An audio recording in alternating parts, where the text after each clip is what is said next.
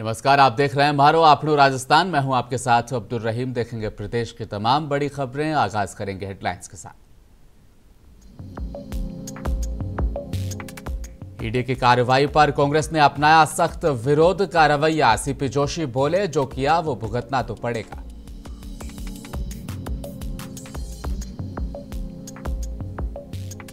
राजस्थान में बेनीवाल और चंद्रशेखर ने मिलाया हाथ। कांग्रेस का गणित बिगाड़ सकती हनुमान आज़ाद की जुगलबंदी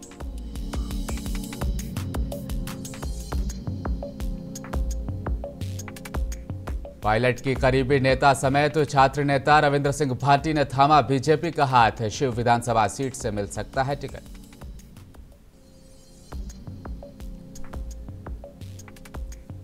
मरुद्रा के महासागर में बीजेपी की मुसीबतें नहीं हो रही कम। अब वैश्य समाज करेगा बीजेपी का बाइकआउट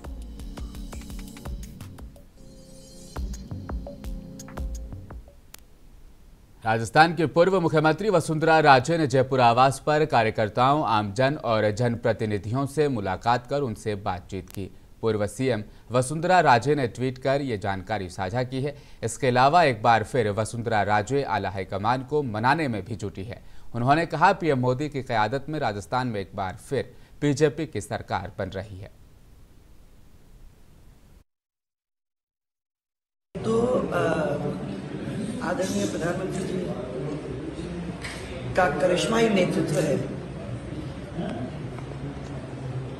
भारतीय जनता पार्टी की नीतियों का और भारतीय जनता पार्टी के कार्यकर्ताओं का, उनकी मेहनत, ये सब चीज़ों ने मिलकर जोरदार विजय। मध्य प्रदेश, राजस्थान और छत्तीसगढ़। भारतीय जनता पार्टी का झंडा लहराने वाला है, सब दूर। और आज के दिन में भारतीय जनता पार्टी के सब शीर्ष नेतृत्वगण को बहुत सारी सारी बधाइयाँ और कार्यकर्ताओं को। राजस्थान में चुनावी घमासान के बीच पार्टी उलटफेर का सिलसिला वहाँ पर जारी है। कुछ दिन पहले प्रियंका गांधी की सभा में भाजपा छोड़कर नेताओं ने कांग्रेस का दामन थामा तो अब जयपुर के पूर्व मेयर और सचिन पायलट के करीबी कांग्रेस नेता ज्योति खंडेलवाल ने कांग्रेस छोड़कर भाजपा का दामन थाम लिया है। ज्योति खंडेलवाल ने वसुंधरा राजे की तारीफ़ की थी। भाजपा ज्योति को टिकट दे सकती है। इसके अलावा छात्र नेता रविंद्र सिंह भाटी ने भी भाजपा का हाथ थाम लिया है। भाजपा भाटी को शिव विधानसभा सीट से टिकट दे सकती है। नेता युवा नेता भाई रविंद्र सिंह जी भाटी, वो भी आज भारतीय जनता पार्टी की सुरक्षा कर रहे हैं। और जितेंद्र सिंह जी जो लक्ष्मणगढ़ के हैं, छात्र नेता, युवा नेता भाई रविंद्र सिंह जी भाटी, वो भी आज भारतीय जनता पार्टी की सुरक्षा कर रहे हैं। और जितेंद्र सिंह जी जो लक्ष्मणगढ़ के हैं, छात्र नेता, युवा नेता भाई रविंद्र सिंह जी भाटी, वो भी आज भारतीय जनता पार्टी की सुरक्षा कर रहे हैं। राजस्थान विधानसभा चुनाव जैसे जैसे नज़दीक आ रहा है, वैसे वैसे नेताओं का एक दूसरे पर वार पलटवार भी तेज हो रहा है। सीएम गहलोत ने कल पाँच नई गारंटी दी और ईडी की कार्रवाई पर भी सवाल उठाए। अब गहलोत की गारंटी पर सीपी जोशी ने भी सवाल खड़ा कर दिया है। बीजेपी नेता सीपी जोशी ने क्या कहा, सुनिए।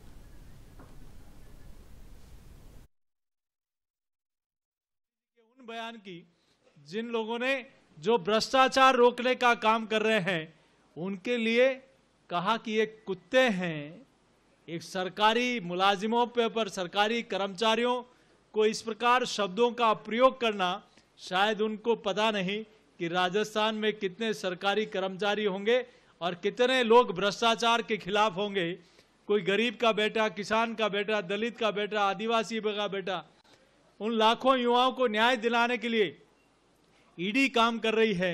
तो उनके खिलाफ इस प्रकार के शब्दों का प्रयोग मुख्यमंत्री जी करते हैं। मैं पार्टी की ओर से निंदा करता हूँ। मुख्यमंत्री जी ने कल अपनी नई गारंटियों की घोषणा की थी।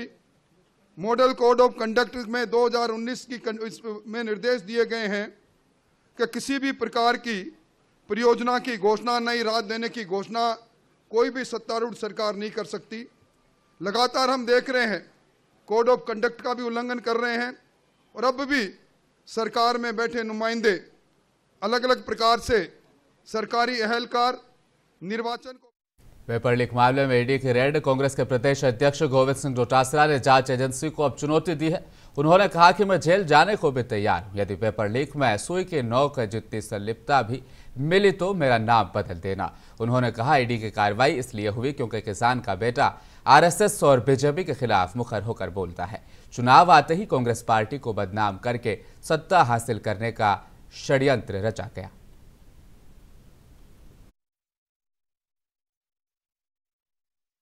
एक अध्यापक का बेटा, किसान का बेटा, बीजेपी के खिलाफ मुखर होकर के बोलता है, आरएसएस के खिलाफ मुखर होकर बोलता है, राजेंद्र जी राठौड़, सुभाष जी मैरिया, किरोड़ी लाल जी मीना दो ढाई साल से इस बात का प्रयास कर रहे हैं कि कैसे कांग्रेस पार्टी को बदनाम किया जाए, कैसे भारतीय जनता पार्टी की सरकार बनाई जाए, और इसलिए दो ढाई साल के पुराने प्रकरण में, चुनावी आचार संहिता लगने के बाद में नॉमिनेशन के सात आठ दिन पहले जिस प्रकार का वातावरण बना करके मेरे रिश्तेदार के यहाँ मेरे सरकारी बंगले पे मेरे यहाँ पर सर्च की गई है। मैं समझता हूँ कि ईडी को तुरंत ये बताना चाहिए कि मेरे, मेरी भांजी और मेरे दोनों परिसर जो जयपुर का आवास और सीकर के आवास में उनको क्या मिला, निश्चित रूप से ये बात राजस्थान प्रदेश कांग्रेस कमेटी ने नाराज़गी ज़ाहिर करते हुए कहा कि चुनाव नज़दीक आते ही कार्रवाई शुरू हो जाती है, सीबीआई, इनकम टैक्स और ईडी छापेमारी के लिए पहुँच जाती है। ये कार्रवाई पूरे साल क्यों नहीं की जाती? अगर जाँच करनी है या छापा मारना है तो कभी भी करो। चुनाव आते ही क्यों कार्रवाई की जाती है? चुनाव सामने आते ही प्रदेश कांग्रेस अध्यक्ष गोविंद सिंह डोटासरा के घर पर छापेमारी की गई और वैभव गहलोत को नोटिस थमा दिया गया। आपको बता दें, जयपुर बीजेपी मुख्यालय के बाहर कांग्रेस कार्यकर्ताओं ने जमकर विरोध प्रदर्शन किया। सिर्फ़ जयपुर ही नहीं, राजस्थान के कई जिलों में ईडी की कार्रवाई का विरोध चल रहा है।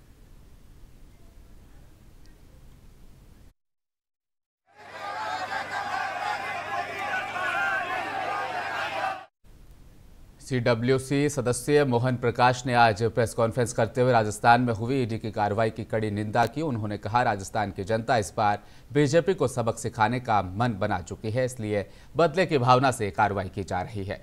उन्होंने कहा, ईडी अगर सेंट्रल एजेंसी है तो क्या सिर्फ़ राजस्थान में ही पेपर लीक हुआ? तो क्या यूपी में नहीं हुआ, गुजरात और हरियाणा में पेपर लीक नहीं हुआ? वहाँ पर कार्रवाई क्यों नहीं हुई? ईडी सेंट्रल एजेंसी है ना कि प्रादेशिक एजेंसी है। तो अगर सेंट्रल एजेंसी है ये तो क्या सिर्फ़ राजस्थान में पेपर लीक हुआ है? उत्तर प्रदेश में नहीं हुआ? गुजरात में नहीं हुआ? हरियाणा में नहीं हुआ? तो अगर आप सेंट्रल एजेंसी हैं और आप बड़ी चिंतित हैं नौजवानों के भविष्य के लिए तो कार्रवाई तो सब जगह करनी चाहिए सेंट्रल एजेंसी को, क्योंकि विषय एक ही है। मामला ये नहीं है। मामला ये है कि अपमानित करना है। अशोक गहलोत को वो झुका नहीं पाए। मिल नहीं रहा है। तो पिछली क्राइसिस में उनके भाई के यहाँ डाल दिया। और अब चुनाव चल रहा है। तो उनको बेटे को संबंध भेज दिया। किसमें? बारह साल पहले के मामले। भाई, अब तक आपको क्या उस फ़ाइल की जानकारी नहीं थी क्या? Modi ji ED income tax CBI के पीछे छिप के वार मत करो। क्योंकि वैचारिक शून्यता है उनमें। न गहराई है और न विजन है। तो इन एजेंसीज के पीछे छिप के वो राजनीतिक विरोधियों पर प्रहार करते लेकिन मुझे उम्मीद है कि जैसे कर्नाटक और बंगाल के लोगों ने ईडी का सीबीआई राजस्थान के चुनावी रण में एक बहुत बड़ी सियासी घटना हुई है। हालाँकि लोगों का मानना है इस घटना से फ़ायदा बीजेपी का और नुकसान कांग्रेस का होगा। दरअसल राजस्थान में राष्ट्रीय लोकतांत्रिक पार्टी यानी आरएलपी और आज़ाद समाज पार्टी कांशीराम में पहला चुनावी गठबंधन हो गया है। अब ये दोनों पार्टियाँ मिलकर कांग्रेस को नुकसान पहुँचा सकती है, क्योंकि अब ये दोनों मिलकर 200 सीटों पर प्रत्याशी खड़े करेंगी। आरएलपी, सुप्रीमो, हनुमान बेनीवाल और एएसपी के चंद्रशेखर ने इसकी घोषणा की है। दोनों पार्टियाँ उनतीस अक्टूबर को संयुक्त रैली भी निकालेगी। इधर परबतसर से वरिष्ठ कांग्रेस नेता लच्छाराम बडारडा आरएलपी में शामिल हो गए हैं। प्रेस कॉन्फ्रेंस के ज़रिए से हनुमान बेनीवाल ने इसकी घोषणा की। ये गठबंधन लंबा समय, लंबे समय तक देश में चले। इसकी ठोस शुरुआत इन्होंने की और मैंने इनसे आग्रह किया कि आप स्वयं यहाँ आरएलपी कार्यालय आके और जवानों को संबल दें और समर्थन की घोषणा करें। मैं इनको धन्यवाद देता हूँ और हम मिलके राजस्थान के अंदर चुनाव लड़ेंगे और मजबूती से राजस्थान का जवान इस बार, जिस तरह पिछली बार 80 लाख वोट कांग्रेस बीजेपी के खिलाफ राजस्थान के अंदर आए थे, जिस तरह का माहौल राजस्थान में रहा बे भ्रष्टाचार, पेपर लीक की घटनाएँ थे, बजरी माफिया का आतंक दलितों पर अत्याचार, किसान राजस्थान विधानसभा के चुनाव में अब तक कांग्रेस पार्टी और भारतीय जनता पार्टी के बीच सीधा मुकाबला समझा जा रहा था। दोनों दलों ने अपने अपने उम्मीदवारों के नामों का ऐलान कर दिया और एक दूसरे के खिलाफ मुनादी कर ताल भी ठोक दी। लेकिन इस बीच राष्ट्रीय लोकतांत्रिक पार्टी के सांसद हनुमान बेनीवाल और समाज आज़ाद समाज पार्टी कांशीराम के नेता चंद्रशेखर आज़ाद ने हाथ मिलाकर कांग्रेस और बीजेपी दोनों के लिए नई चुनौती खड़ी कर दी है। कल आरएलपी के स्थापना दिवस पर एक बड़ी रैली की जाएगी और जनता के सामने शक्ति प्रदर्शन किया जाएगा, जिसमें दोनों पार्टियाँ शामिल रहेंगी। आरएलपी के स्थापना दिवस पे एक बड़ी रैली भी जयपुर में रखी है। मैं खुद भी उसमें शामिल रहूँगा और हमारे बड़े पैमाने पे हमारे कार्यकर्ता, नेता और समर्थक भी उस रैली में बढ़ चढ़ के हिस्सा लेंगे। वो एक रैली ही राजस्थान की बहुत बड़ी जो शक्ति बनने जा रही है, उसका प्रदर्शन करेगी और उसके बाद भी हम लोग बहुत सारी रैलियाँ करेंगे। ना मैं टिकट सीटों में हमें कोई किसी तरह कॉन्फ्लिक्ट है, ना और कोई। पर एक ही हमारी तमन्ना कि राजस्थान सुरक्षित हाथों में रहे। राजस्थान की जनता को उनके अधिकार मिले और जो वंचित तबकों पर अन्याय अत्याचार हो रहा है, चाहे वो किसान हो, मजदूर हो, नौजवान हो, महिलाएँ हों, जो शोषण हो रहा है वो बंद हो और वो शोषण तभी होगा जब काम लेने वाले हाथ मज़बूत होंगे और हनुमान जी बेनीवाल के हाथ बहुत मज़बूत हैं और हमारे साथी उनको इस लड़ाई में आगे बढ़ाने के लिए हम लोग तैयार हैं। मैं उनकी पूरी पार्टी का, उनके नेताओं का धन्यवाद करता हूँ। आज़ाद समाज पार्टी के सभी नेताओं का बीमार में सभी नेताओं का धन्यवाद करता हूँ। राजस्थान विधानसभा चुनाव के लिए राष्ट्रीय लोकतांत्रिक पार्टी आरएलपी ने 10 उम्मीदवारों की पहली लिस्ट जारी कर दी। इस लिस्ट के अनुसार आरएलपी सुप्रीमो और सांसद हनुमान बेनीवाल खींवसर से चुनाव लड़ेंगे, जबकि पुखराज गर्ग को भोपालगढ़ से टिकट दिया गया है। आरएलपी की पहली लिस्ट में अन्य उम्मीदवारों में भोपालगढ़ से विधायक पुखराज गर्ग मेड़ता से विधायक इंदिरा देवी बावरी, परबतसर से लच्छाराम, बड़ाहरडा, कोलायत से रेवतराम पवार, सहाड़ा से बद्रीलाल जाट सरदार शहर से लालचंद मूड चुनाव लड़ेंगे। वहीं सांगानेर से महेश सैनी, जोधपुर शहर से डॉक्टर अजय त्रिवेदी शामिल हैं। बेनीवाल ने कहा कि आरएलपी राजस्थान में एक बार फिर मज़बूत होकर तीसरा विकल्प बनकर उभरेगी। उन्होंने कहा कि पार्टी किसानों, युवाओं और मजदूरों के मुद्दों को उठाएगी। राजस्थान में अगले महीने की तेईस तारीख को विधानसभा चुनाव हैं। ऐसे में सभी पार्टियाँ जीत के लिए मैदान में है। इस बीच आज़ाद समाज पार्टी कांशीराम राजस्थान में अपना पहला चुनाव लड़ रही है। इस सिलसिले में देर रात आज़ाद समाज पार्टी ने अपनी तीसरी सूची जारी कर दी। सूची में कुल छह उम्मीदवारों के नामों की घोषणा की गई है। इससे पहले आसपा अपनी दो सूची जारी कर चुकी है। अब तक आज़ाद समाज पार्टी ने मुस्लिम प्रत्याशियों को भर भर के टिकट दिए हैं। साफ़ कयास लगाए जा रहे हैं कि आसपा की राजस्थान में एंट्री कांग्रेस को नुकसान पहुँचाने के लिए हुई है। और वहीं इस बीच राजस्थान विधानसभा चुनाव के लिए राजनीतिक दलों का प्रत्याशी सूची जारी करने का सिलसिला जारी है। इसी क्रम में आम आदमी पार्टी राजस्थान ने भी प्रत्याशियों की आज दूसरी लिस्ट जारी कर दी है। इस लिस्ट में 21 सीटों पर प्रत्याशियों के नामों पर मुहर लगी है। प्रदेश प्रभारी विनय मिश्रा ने दूसरी सूची जारी करते हुए कहा कि अगर आप पार्टी ने हमेशा की तरह समाजसेवी किसान, डॉक्टर, वकील, अधिकारी और साफ़ छवि के लोगों को मौका दिया है, आप पार्टी पढ़े लिखे लोगों की पार्टी की पहचान। है उन्होंने कहा कि राजस्थान के बदलाव की शुरुआत हम लड़ेंगे और जीतेंगे।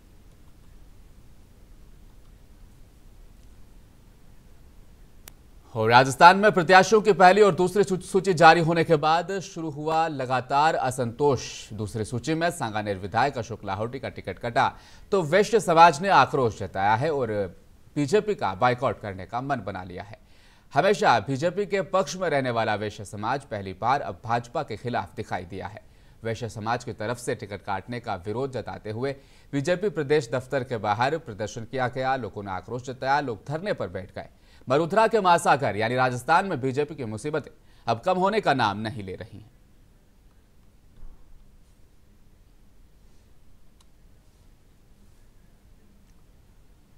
और आखिर में एक मरतबा फिर नज़र डालेंगे हेडलाइंस की तरफ़। ईडी की कार्रवाई पर कांग्रेस ने अपनाया सख्त रवैया। सीपी जोशी बोले, जो किया वो भुगतना पड़ेगा।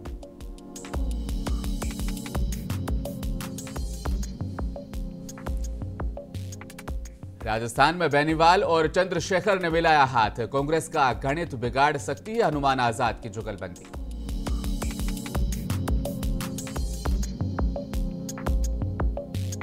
सचिन पायलट की करीबी नेता समेत छात्र नेता रविंद्र सिंह भाटी ने थामा बीजेपी का दामन। शिव विधानसभा सीट से मिल सकता है टिकट।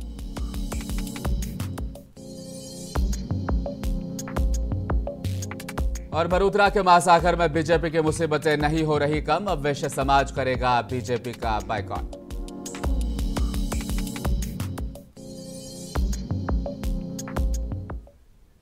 फ़िलहाल खबरों में इतना ही, आप देखते रहिए मुंसिफ टीवी न्यूज़। नमस्कार।